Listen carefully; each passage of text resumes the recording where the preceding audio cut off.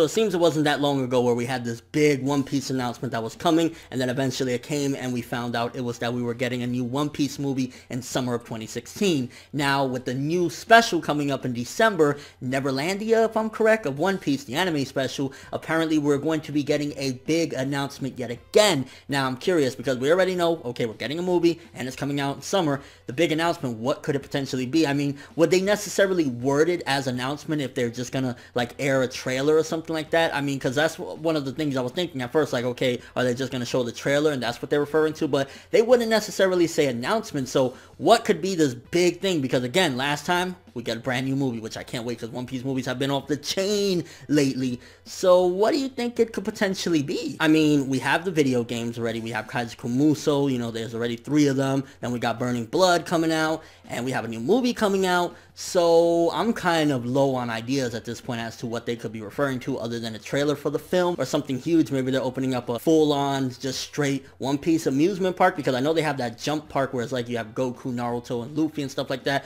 So I'm kind of, again, thinking like, what else could be major that they're going to be announcing? Read a little bit of the article. This year's 52nd issue of Shueisha's Weekly Shonen Jump revealed on Saturday on the cover page for the 807th chapter of Eiichiro Oda's One Piece manga that the end of the One Piece Adventure of Nebulandia anime special will feature an important announcement. The special, which is the first winter anime special for the franchise, will air on December 19th from 9pm to 11.10 p.m. on Fuji TV. The previous TV special, One Piece episode of Sabo, aired on August 22nd. The end of the special announced that the 13th film in the franchise franchise will open in summer 2016. Unless we're getting double movies, that would be fucking insane, or we're getting a whole spin-off anime, because let's be real here, they could milk the shit. Like, if they did something like Origins of Zoro, One Piece Origins of Zoro, like a straight-up, you know, weekly anime, something like that, they can double up on them One Piece views. So, who knows, maybe that's the big announcement. They're doing a spin-off anime, or maybe they're gonna announce a new manga that they're doing based on the characters. Maybe they're gonna do Adventures of Roger, that would be humongous. Gol D. Rogers Past, something like that. There's endless possibilities at this point because, I mean, again, we've already covered a couple big things. Video games, movies, and I think a major announcement is going to be like new shirts or new rice cakes. So it got to be something pretty big. But again, let me know what you guys think. What could this big announcement be if we already got movies and video games? Could it be an amusement park that they're putting out there? Could it be a spin-off anime or a spin-off manga that they really want to pump up there?